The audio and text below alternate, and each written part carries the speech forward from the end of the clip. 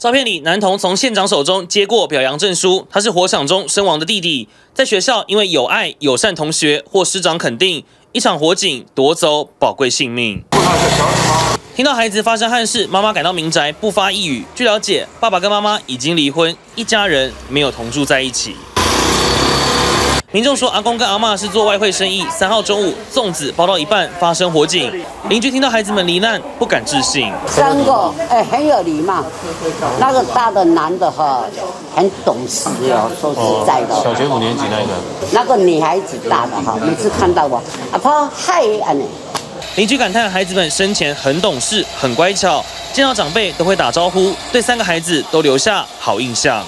三年会来，到的时候又到，又一起到。看到我就你你看女孩子呢。